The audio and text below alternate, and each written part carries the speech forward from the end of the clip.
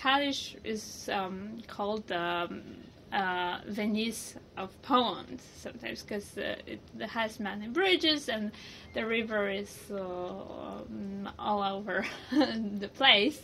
And one um, branch of the river, Prosna River, during the war, uh, the Nazis uh, took all the books, Polish and Jewish, and uh, put them into the river. And then, uh, yes, this is the tragic story of Kalisz, and uh, and they like the whole branch of this river was like uh, you know paved with with um, books, and then they put put mm, soil on it, and now there is no river there and there is uh, like a monument of a book. Yeah, I see your face.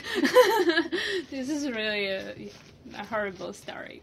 Uh, so, so yeah, it, it's also tragedy of books, but the tragedy of people was bigger. So, uh, yeah.